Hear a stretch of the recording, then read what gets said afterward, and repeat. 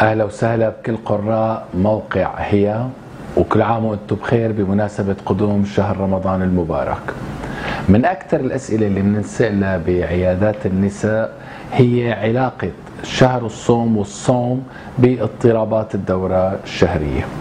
خلينا ناخذها على مجموعتين، المجموعة الأولى السيدات اللي ما عندهم أي اضطراب بالأصل بالدورة الشهرية إن كان بالمرحلة الزمنية أو بكمية الدم اللي بنفتقده خلال الدورة.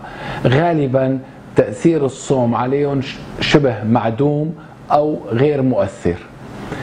إذا صار أي شيء خلال شهر رمضان وبين تأثيرات على الدورة فهون يجب إجراء الفحوصات اللازمة لأنه معناتها في سبب آخر غير الصوم قد اكتشف أثناء الصوم.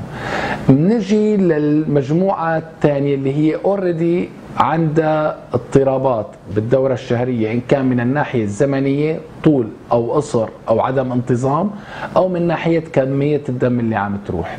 هون طبعا غالبا في أدوية عم تاخذها لتنظيم الدورة الدموية الشهرية عم تاخذها لتنظيم آه، الحمل ومنع الحمل رجاء الالتزام بشكل مطلق بموعد أخذ الحبة وبالجرعة المناسبة اللي موصوفة لها غالبا اضطرابات الدورة بتكون أسبابها هرمونية يا أما بخلل بوظيفة المبايض وإفراز الهرمون فيهم يا أما خلل ما بين توازن بالهرمونات بالجسم.